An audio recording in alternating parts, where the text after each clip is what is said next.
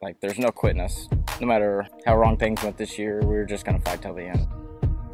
In a year of unknowns, one with ups and just as many downs, Hornet Baseball learned what it's like to enjoy the moment and fight to the finish.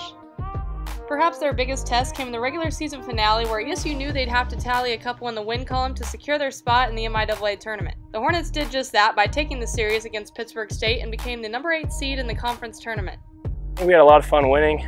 Um, you know, we just did what coach said, find a way. I think we knew we were good all along, but we just had a lot of ups and downs and it took a lot of like fighting us to keep going. They held it together in, in, in a year that it really could have blown up. They held it together and um, found a way to at least make make the conference tournament and um, go against one of the top teams in the country and, and at least give yourself a chance to win. So that matched them up with number one seed Central Missouri, who is also ranked as high as number two in the nation.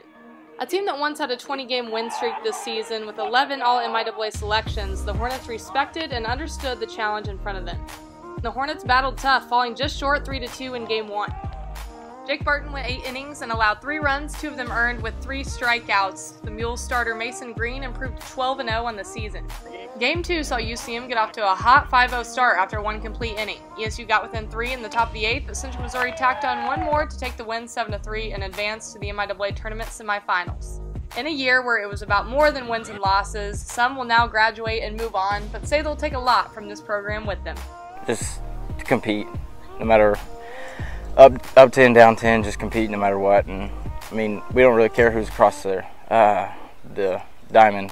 We're going to show up and fight, and whatever we can to win, we're going to do it. You know, we say we're a brotherhood here, and from day one, I loved it. Um, me and all the guys really mesh. You know, we have a, lot, a really good time off the field, um, and we had a lot of fun on the field. It was a really tough year. It wasn't the year that, that we expected to have, uh, but I, I, do think it's, it speaks a lot to the group that we had, the, the people that we had that um, uh, they never really blinked and, and still found a way uh, to keep working, keep working, keep working, keep playing hard for each other and, and play their best baseball at the end.